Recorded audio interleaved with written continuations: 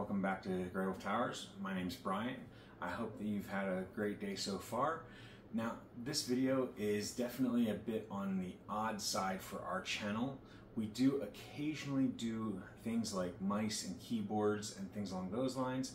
We often do cases and computers, laptops, desktops, parts for different ones, all that kind of stuff. However, we do not usually do mouse pads. So I wanted to do a little unboxing of this mouse pad. This is just labeled as LED light mouse pad. That's it. And it's got the little rainbow to the colors and it shows you a keyboard and mouse on the on the mouse pad, but it's a blank pad. And then it's got some of the details and everything. But let's go ahead and open it up and take a look and see what we got. All right. All right. So we're gonna pop it. It's taped with like regular ma uh, not masking tape, but uh, regular scotch tape. So nothing extreme, nothing extravagant, nothing that can't be removed and put back. So I'm not considering it as sealed, but it's at least something. We're getting crisp crunches on that, so that's cool. Now this is supposed to be a large mouse pad that's supposed to cover the entire area that the keyboard and mouse go on so that it covers the entire desktop that you're going to use. But let's take a look and see what we have here. So we do have a micro USB. It is not USB-C cable. It is braided, which is nice. It feels comfortable and it does feel good in the hands. And then we've got the mouse pad. Now this is an RGB mouse pad, so it does have lights, but let's take a look and see what it is, all right? what do you think? You like it? I fell in love with it when I saw the wolf. So the thing with this, I got it because of the wolf, and it does have the little plug here for the USB, for the power and everything, so that you can do that. It does not have addressable RGB as far as I'm aware and unfortunately it looks like the one thing that looked the coolest about it was false advertisement. So the end of it the edges of it whatever you want to call it will light up and do the different displays. I think they said like seven different modes. So a couple different solids a couple different like flowing through the different colors that kind of stuff.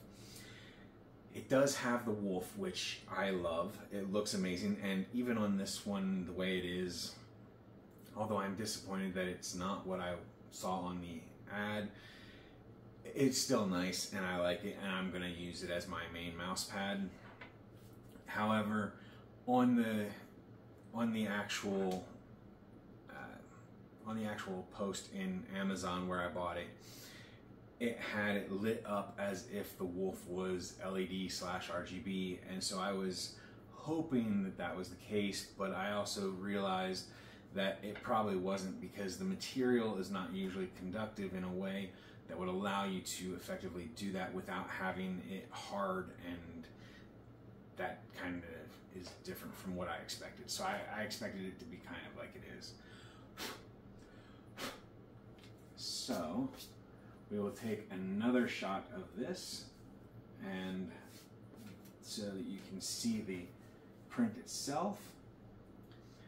Now this is supposed to be capable of doing 30,000 hours of LED slash RGB and it, it, like I said it's seven seven colors that cycle through so you can do the different things. I'm hoping for a rainbow pattern to match the wolf. I'm going to take a quick peek real quick and see here. I do not see a size.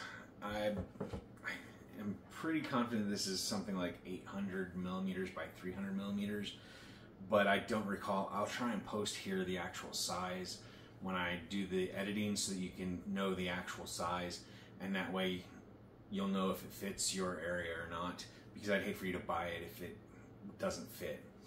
So that aside, I do also plan on inserting a picture probably right about now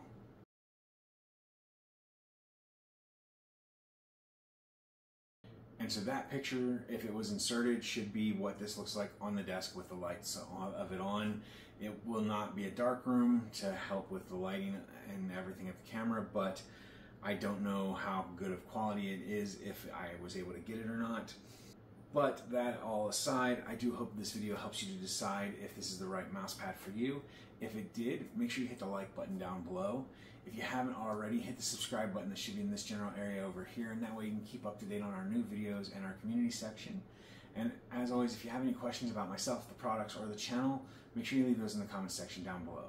Thanks for watching, everyone. You have a wonderful day. Bye for now.